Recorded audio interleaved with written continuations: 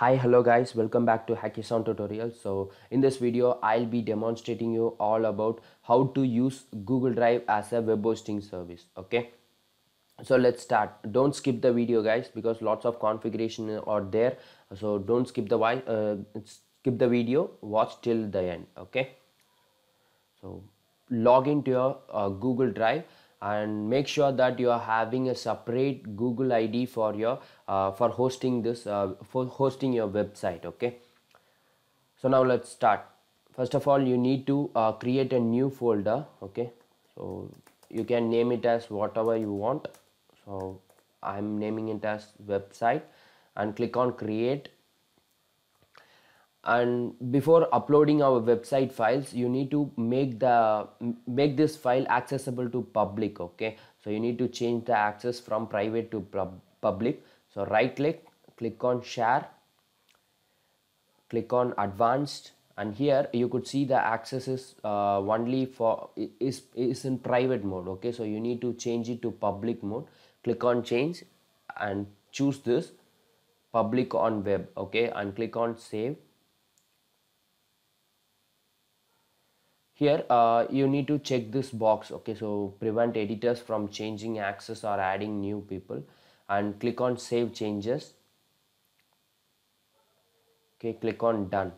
So now we are completely ready and here you could see the logo has been changed uh, from this to uh, this okay? So this means uh, that we have successfully changed the access from private to public okay? So now we are ready. Get into that folder.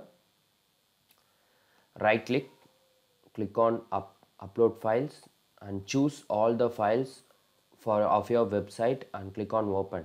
Okay so this makes um, the files to upload into your drive okay? So the files has been successfully uploaded and here you could see the uh, index.html file of my website okay? So now we are ready. So for this uh, for hosting website uh, we need to use this third party okay? So this is a trustable third party drv.tw okay so here uh, there is they, they have given two option. One is through uh, via google drive and one is through uh, onedrive. Okay so if you are using onedrive also you can uh, use this option. Okay so in this case uh, we are using google drive. So i am choosing this via google drive. So now uh, you need to give access to this drive to web. Click on allow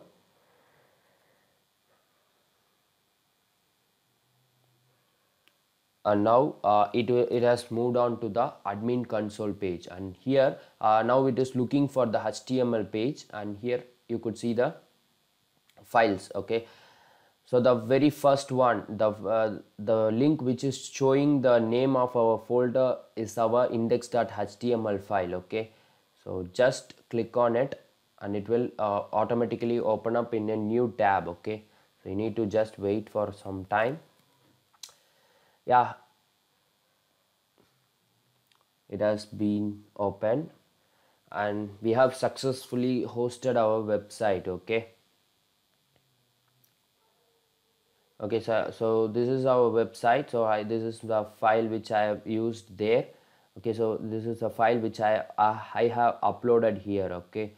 That's all guys. Uh, we have successfully hosted our website.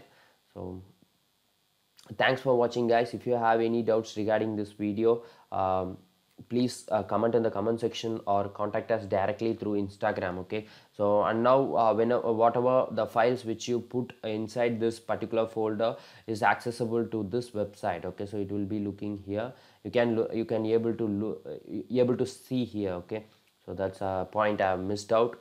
Uh, i have mentioned that also okay? So thanks for watching guys. Share our videos to your friends keep supporting us guys. Brother that's caught in the crossfire. It's caught in the crossfire